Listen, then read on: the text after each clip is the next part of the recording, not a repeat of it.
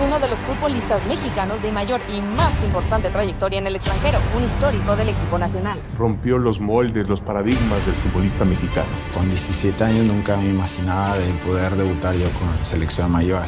Obviamente pues, me corrieron de la secundaria. Empecé a ganar demasiado dinero también bastante joven, con 20 años.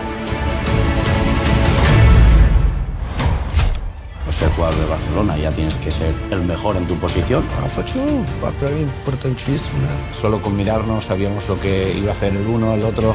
Cuando haces bien las cosas y le echas ganas, puedes llegar a, a sorprenderte a ti mismo. Rafa Márquez había llegado al máximo nivel con el campeón de Europa. Yo creo que es de las personas que cambia más dentro a fuera del campo. Departamento del Tesoro de Estados Unidos incluyó en la lista de testaferros del narco al futbolista mexicano con más títulos internacionales de la historia. Rafa Márquez ligado con dinero del narcotráfico. Este era el partido de su vida. De repente eres un héroe y de repente te están señalando como el peor de los criminales. Intentaré esclarecer todo esto y ser el Rafa Márquez que ustedes conocen. Él no iba a tirar la toalla nunca. Al final la gente cree en ti.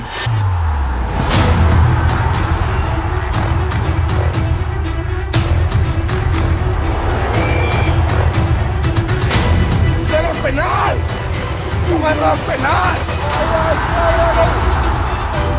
Pero es que los jugadores importantes están ahí, donde deben estar. Hay que ser ganadores, triunfadores, cabrones. ¡Vamos, Han elegido a Rafael Márquez para que tome las riendas del Barcelona Athletic. Ha sido un líder toda su vida.